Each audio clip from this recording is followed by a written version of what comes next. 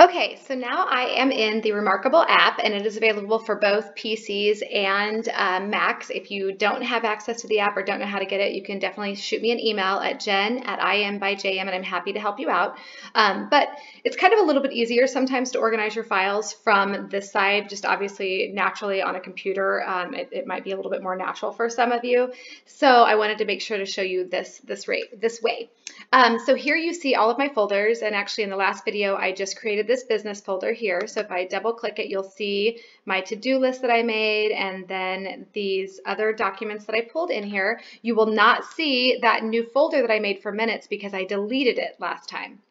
So we go back into files here. These are some of the sheets that I have made that probably could go into this um, business folder. So if I click on this one, I can say that I want to move it I select the destination that I want it to move to, and then I hit move here. So I can continue to do that for each and every one of these files. I'll move it into my business. And then I will do the same thing for this one.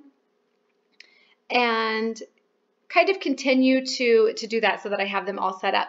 Now, some of them I like to have just hanging out open. I like as much as possible to have things organized in my folders, but it's also nice to have a couple of these just ready to go, like my to-do later and my to-do now.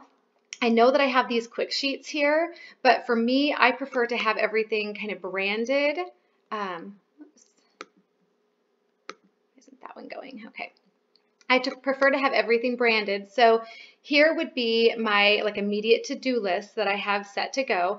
And obviously it's got my, this is eh, kind of organized the way that I want it to be.